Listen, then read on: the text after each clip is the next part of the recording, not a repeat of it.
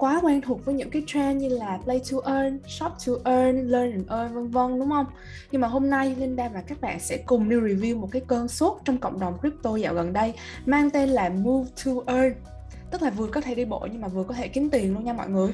Và cái đại diện của cái trend này thì không ai khác chính là dự án Step N với giá token quản trị GMT đã ít 220 lần kể từ giá IDO trên Binance 3 tuần trước và đặc biệt là hôm nay Linda sẽ không chỉ review suông mà Linda sẽ review luôn đôi giày Step em mà Linda đang có, cũng như là cách mà Linda đi bộ kiếm tiền ha. Let's go.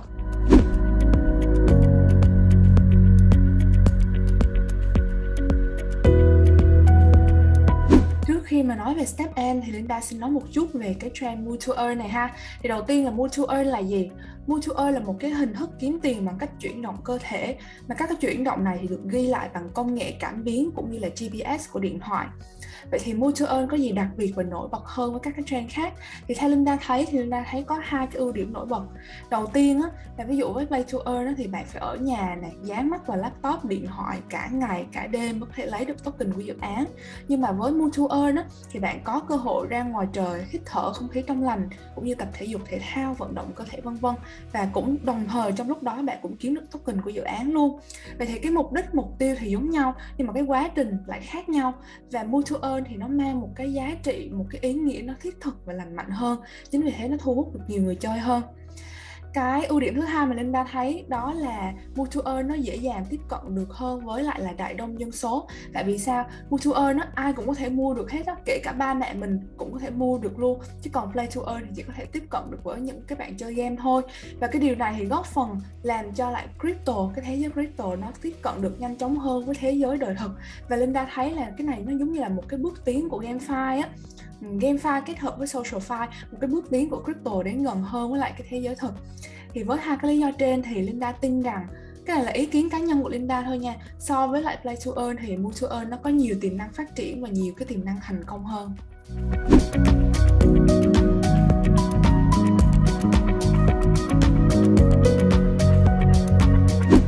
Giờ thì mình sẽ tới đại diện nổi bật của Mutual đó chính là Step N. Thì trên màn hình là giao diện trang web của stepn.com và mọi người có thể thấy là cái giao diện cực kỳ màu sắc, cực kỳ bắt mắt, rất là dễ tiếp cận so với các cái dự án khác. Ở đây có một cái dòng giới thiệu nhỏ là Step N là một cái ứng dụng phong cách sống web 3 với những cái yếu tố social file và game file kết hợp. Thì người chơi có thể kiếm được thu nhập bằng cách là đi bộ hoặc là chạy bộ ở ngoài trời. Đây là một vài cái thông số nổi bật của Step N về phần roadmap các bạn có thể đọc để tìm hiểu kỹ hơn về phần team của Step N thì có một vài thông tin nổi bật như là uh, phó chủ tịch của Adidas, Head of Accelerator at Alliance hay là founder của Folius Ventures thì đều là những cố vấn nổi bật của Step N. Về phần backer thì mọi người cũng hoàn toàn yên tâm tại vì Step N được đầu tư bởi những quỹ rất là lớn như là Sequoia, Solana Ventures, Alameda Research, những cái tên tuổi rất là nổi bật và trong vòng seed round thì đã gọi vốn lên đến 5 triệu đô la. Nếu các bạn muốn tìm hiểu thêm thì các bạn có thể bấm vào cái dấu ba gạch này và bấm vào white paper, còn mình sẽ bấm vào white paper để chúng ta đọc tóm tắt trước ha. Thì về cái phần tokenomics của Step N thì chúng ta có hai đồng token chính, đó là GST tức là đồng in-game token và GMT tức là cái đồng quản trị. Thì GST có cung vô giới hạn, còn GMT thì có cung là 6 tỷ. Về tokenomics thì các bạn sẽ mua cái đôi giày ở trong marketplace này đó xong rồi các bạn sẽ mua to earn và cuối cùng là sẽ đổi cái đồng GST là GMT kiếm được sang USDC ở trong app còn không thì các bạn có thể thuê thuê dài thì 30% là sẽ cho người thuê và 70% sẽ cho người sở hữu. Nhưng mà cái chức năng này thì nó chưa ra nha mọi người. Về cái cơ chế burn token thì ở đây Step and ghi rất là chi tiết. Ví dụ như là GST thì được dùng để sửa giày nè, để mở socket nè, để lên level nè, để lên level dày để minh giày, để upgrade những cái đá quý. Còn GNT thì được dùng để customize giày, tức là trang trí thiết kế riêng cho giày cũng dùng được để level up giày luôn. Có thể được dùng để min giày mới và cũng dùng để upgrade đá ngọc, vân vân. Về token distribution, tức là phân phối token thì mọi người có thể thấy là phần, một cái phần 16 phần 3 phần trăm nè 7 phần trăm nè 14.2 phần trăm nè 2.5% thì hầu hết là dành cho nội bộ, tức là cho vòng private team và cố vấn, vân vân. Thì cái phần này nó chỉ chiếm gọi là hơn 1 phần 3 một tí thôi. Còn lại là gần 2 phần 3 còn lại thì là cho hệ sinh thái và là phần hưởng của Move and Earn. Nên điều này nó rất là hay. Ngoài ra cái lịch trả token thì cũng làm các bạn khá là yên tâm. Tại vì trong năm 2022 á, thì token chỉ được ở trong hệ sinh thái cũng như là là phần thưởng của Move and Earn và trả một ít cho Binance Launchpad thôi. Còn bắt đầu từ năm sau thì nó mới có cái lịch trả token dần dần cho các cái vòng private hay là team và advisor. Cho nên hiện tại thì giá của token là giữ rất là tốt. Đây lại là phần roadmap tóm tắt. Mình sẽ để thử cho các bạn hai cái chạc của GST và GMT để các bạn có thể thấy được cái độ FOMO của dự án cho đến lúc bây giờ.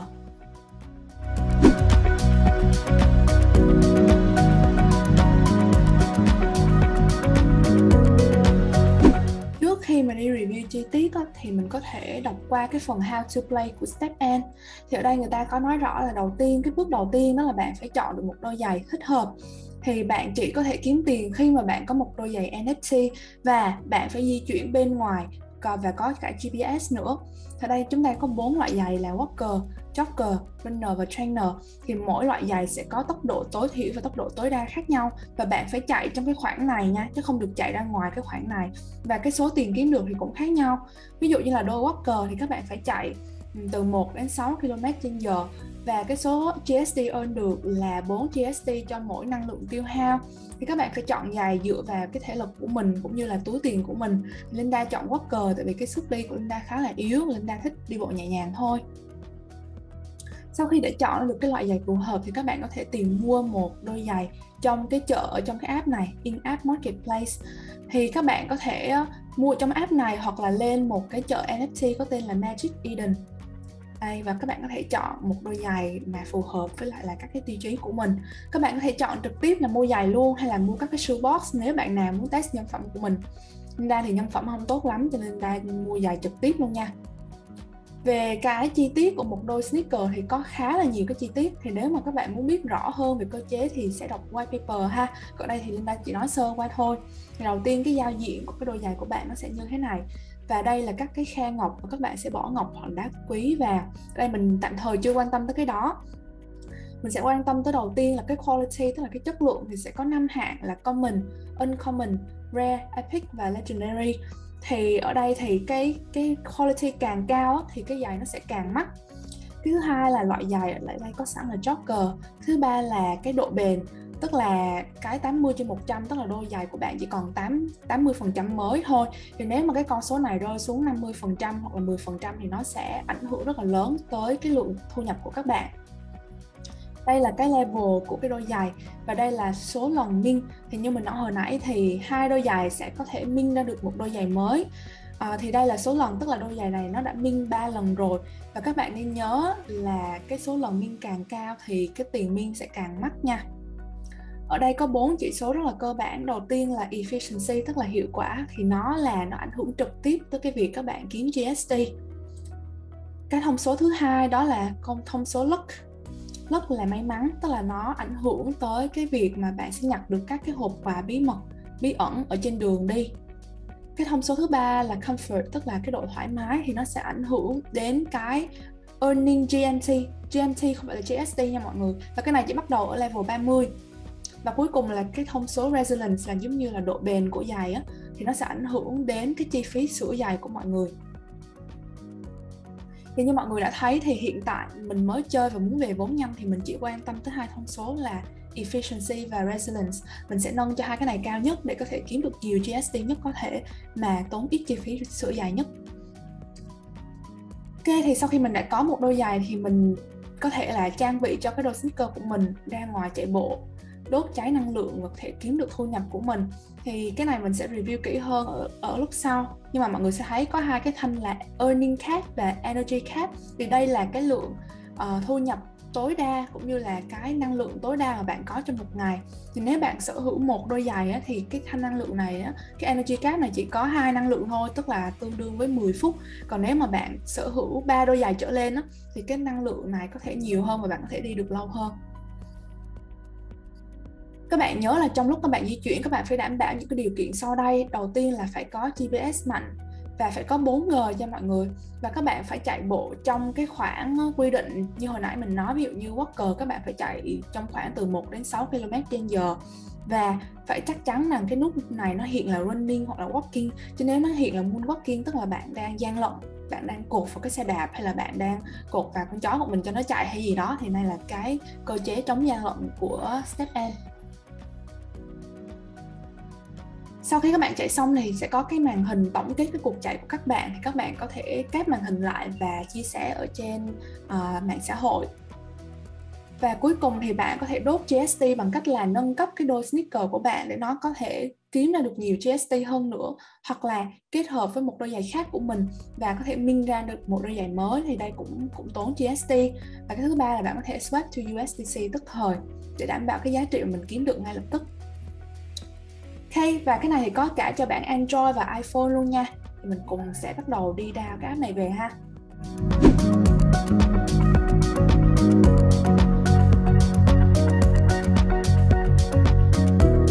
Đầu tiên các bạn hãy lên App Store hoặc là CH Play và click Step N để có thể download được cái ứng dụng này về. Mình đã download rồi nên mình sẽ click Open luôn ha. Và các bạn cần một cái địa chỉ email để có thể đăng ký tài khoản.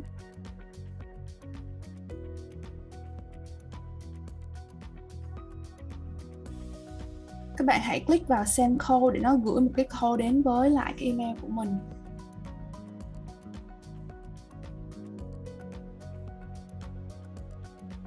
Ở đây thì người ta đòi một cái activation code, thì nếu mà bạn nào mà được giới thiệu từ người thân và bạn bè thì các bạn sẽ có cái code này, còn nếu không thì các bạn sẽ bấm vào là get activation code. Và người ta bảo là bạn phải tham gia cái cộng đồng của họ thì có thể có được cái activation code này. Mình sẽ click vào go và nó sẽ hiện ra các cái link cộng đồng. Thì đơn giản nhất thì bạn có thể tham gia vào Discord hoặc là Telegram bằng English hoặc là Việt Nam luôn. Thì ở đây mình sẽ click vào English cho nó nhanh ha. Nó sẽ hiện ra cái group Step and Official English Group và các bạn sẽ bấm vào cái pin message và trượt lên tới tận cái get activation code, một cái link. Thì mình sẽ bấm vào cái link này.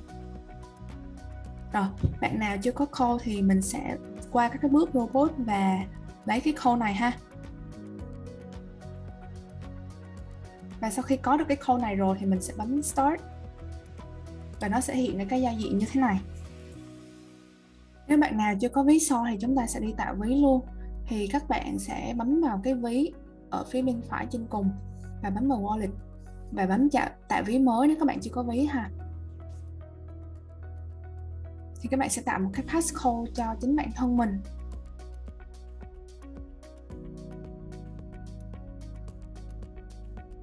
Và nó sẽ hiện ra cái 12 cái từ mà tạo thành cái password của cái ví của mình.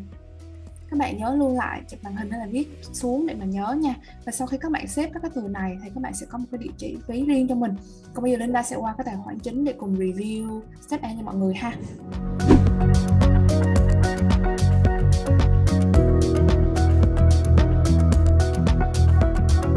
Giao diện của cái step N thì mọi người có thể thấy là giao diện cũng khá là bắt mắt và khá là có nhiều màu sắc. Mọi người có thể bấm vào cái hình đại diện ở bên góc trái này. Nó sẽ hiện ra các cái cài đặt cần thiết. Mọi người sẽ bấm vào đây để có thể cài đặt lại cái ava này, rồi email, tên ờ, giới tính set lại password, vân vân. Ngoài ra các bạn sẽ có một cái activation code có thể đưa cho bạn bè và gia đình. Đây là tổng số cái quãng đường mà mình đã đi đây là cái lượng energy mà nó đã hồi nó đã hồi thành hai energy rồi. Và ngoài ra là bạn sẽ có được uh, donation hay là sao vân vân. Rồi trong cái giao diện chính của step N thì mình sẽ thấy bên dưới là nó có bốn mục. Thì mục đầu tiên là một marketplace tức là cái chợ ha.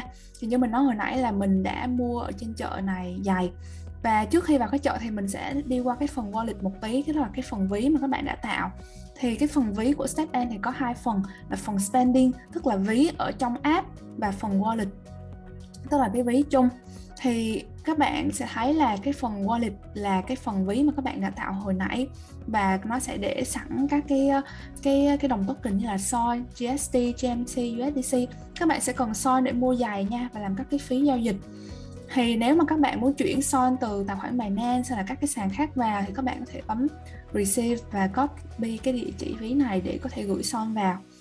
Rồi chữ transfer thì các bạn có thể chuyển cái đồng GST son hay USDC gì đó vào cái ví spending hoặc là ra ngoài.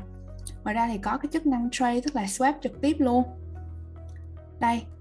Rồi, thì nếu mà các bạn ờ, có son này nọ mà các bạn muốn mua đôi giày các bạn phải chuyển qua spending ha trong spending thì hiện tại thì mình không có soi mình chỉ có GST là mình mới kiếm được thôi. Rồi sau khi lên chợ thì các bạn hãy lựa cho mình một đôi giày phù hợp. Thì ở đây mình sẽ có ba phần là sneaker, jeans và badges. Thì phần badges nó chưa có chỉ có phần jam là phần ngọc đá gì đó thì mình chưa cần. Mình chỉ cần quan tâm tới phần sneaker. Thì về phần sneaker thì các bạn có thể bấm vào filter để có thể lọc ra những cái tiêu chí mà mình yêu thích. Thì ở đây bạn nào muốn thử nhân phẩm thì có thể mua trực tiếp shoebox còn không thì có thể chọn sneaker chọn cái loại mình muốn ví dụ như là uh, jogger chẳng hạn. Quality là common. Và cái level mình muốn thì level thì mình sẽ để cho nó tự do vì level càng cao càng tốt mình sẽ không cần phải up level nữa. Và cái shoe min thì bạn nào muốn là min shoe trong tương lai tức là bạn nào trong tương lai có khả năng sở hữu hai đôi giày trở lên mà muốn min ra một đôi giày mới thì mình sẽ để là từ 0 tới 7 còn nếu bạn nào mà cảm thấy là không cần thiết thì cái số min shoe này mình không nhất thiết là phải để ở không đâu rồi là các bạn sẽ có rất là nhiều lựa chọn. Ví dụ như nếu các bạn chỉ mua giày để chạy thôi các bạn không cần quan tâm tới cái phần min này. Thì các tiêu chí chọn giày thì như mình đã nói hồi nãy thì mình chỉ quan tâm tới efficiency và resilience. Thì làm thế nào cho hai cái con số này nó phải cao nhất có thể? Người ta hay gọi là phần base á, thì cái phần base này nó phải đạt 15 là ít nhất thì bạn mới có thể earn nhiều nhất có thể khi mà chạy đó là phần marketplace. Phần leaderboard thì vẫn chưa có và đây là cái số đôi giày bạn sở hữu. Nên đây thì chỉ mua một đôi thôi nữa chỉ hiện có một đôi. Và đây là cái số, cái cái đôi giày mà bạn sẽ dùng để chạy. Đôi giày của Linda thì hiện tại đang level 9 và cái độ bền của nó cái chỉ còn 90 trên 100 thôi vì Linda chưa có sửa giày. Và hôm nay Linda thì chưa đi, cũng chưa kiếm được cái GST nào. Cái phần thông số của Linda thì Linda có phần base cũng khá là ok tức là 7.4 và 8.1 tức là trên 15 và sau khi up level 9 thì Linda sẽ cộng cái point này chủ yếu là efficiency. Và thật ra Linda uh, gọi là nâng cấp cái cái chỉ số này theo một cái trang web tên là Step and Guide. Thì chúng ta sẽ để cái giao diện của Step and này uh, để các bạn xem thử ha. Trong Step and Guide á cái đây là giao diện của Step and Guide. Thì mọi người có thể uh, chọn cái độ hiếm của giày của mình chọn loại giày sneaker level ví dụ như của mình là level 9 energy thì mình chỉ có hai energy một ngày vì mình chỉ sở hữu một đôi giày. Sau đó là mình sẽ nhập cái phần base này vào. Bấm optimize thì nó sẽ tính ra cho mình cái cách nâng chỉ số tốt nhất có thể để để tối ưu hóa phần earn. Thì mình đã nâng theo cái gai này ha. Bạn nào có cách nâng khác hoặc là chia nhỏ chạy trong ngày thì nó sẽ là một cái chiến thuật khác ok, ở dưới các cái cái đôi giày của bạn sẽ có các cái cái nút chức năng như là level up, tức là lên level sẽ tốn bao nhiêu đó. Sửa giày, tốn bao nhiêu đó. Và minh giày, hiện tại mình chỉ có một đôi mình không có minh được. Hoặc là bán giày, hoặc là cho thuê giày thì chức năng chức năng này chưa có nên mình sẽ để sau ha. Rồi, bây giờ mình sẽ chạy thử cho các bạn xem luôn ha.